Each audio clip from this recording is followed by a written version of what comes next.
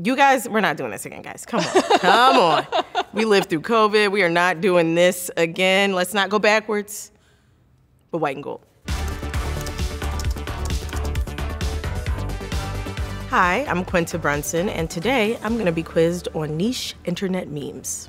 I think I'm pretty doggone savvy, but I do think that I'm starting to fall off because I just have gotten busier. But I still try to keep abreast, if you will. What's your screen time? What's my screen? Who are you, the police? oh my god! I didn't, didn't tell me this would be an indictment. Whew, I'm sweating. Ugh, this feels incriminating. Ten hours? And that's a day. Yeah, but I'm down 21% from last week. Do you have any favorite memes? I do. One of my favorites is a very, it's an old meme, it's a niche meme. It's Shrek's head on a woman's body, and he says, I'm calling the police. I don't know why, I don't know who made it, I don't know the reason, but it's one of my favorite memes to this day. I really like to use it. Love this one. Sorry to this man is from our fave Keke Palmer. I love Keke so much. She didn't know who Dick Cheney was, and she said, sorry to this man. Sorry to this man. If he's walking down the street and wouldn't know who he was. Sorry to this man. We love you, Keke. sorry to this man. No idea. A, a, is it Brony? Is it short for jabroni? No, a brony's like a grown man who's into My Little Pony. Okay. I didn't need to know that information. This is why I need to get back to work because I feel like I keep learning things that I don't need to know. I know this one. That's America's ass. That's referring to Chris Evans as Captain America, his ass in the movie, his butt. If you were in the MCU, what kind of character would you want to play? Oh, one of the obscure background characters brought to the forefront. Squirrel Girl, I think, is very fun and interesting. If it weren't for that, like one of the Iron Man characters. Big Iron Man fan. Other than that, Squirrel Girl. This mustache belongs to American icon and auteur Steve Harvey. I'm a big fan of this mustache and this man. I dressed up like him for one Halloween and it was the best time of my life. Everyone should dress like Steve Harvey if they get the chance to. There's something very freeing in it, and I mean that. It's a spiritual awakening. What does it mean to ship John Locke? I know what ship means, so I'm assuming there are two people, somebody with a John in their name and someone with a Locke in their name. To ship someone is to, you see these people being in a relationship.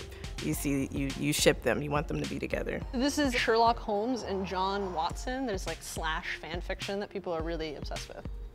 I get it. The queers, they really will find a way. I tell you what. So yeah, I mean, okay, I get it now. I love this one.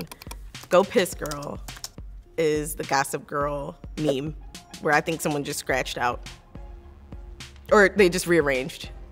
I love Go Piss Girl. It's so simple. I've never watched Gossip Girl. I just know about things, but that doesn't mean I watch them. I'll like go to the Gossip Girl set on the Warner Brothers lot and people are losing it. I just think that's nice. I think it's nice when people really love things. I think it's really sweet. Oh, this dress. I was there when this dress happened. I was there, little girly. this conspiracy happened at BuzzFeed where I worked at the time. And it went super, super viral. And all I remember is you would have thought our office was on fire the way people were running around and losing it over this dress and over the internet losing it over this dress. So this dress was either white and gold to people or it was blue and black. Yeah, what do right? you see? White and gold. You guys, we're not doing this again, guys. Come on. Come on. We lived through COVID. We are not doing this again. Let's not go backwards, but white and gold. This this has something to do with Beyonce, right? They think this is Beyonce. Is this Beyonce's Italian name, or they think it's her Italian twin? There's a conspiracy theory that, that Beyonce is really an Italian woman that's named right. Anne Marie Lastrassi. Yes. So that's what this is. I don't believe this theory, no. But it's fun. But no, I don't believe I don't believe this. It's nonsense. a large. Oh, he got money. That is from internet child Quinta Brunson. Me. A large.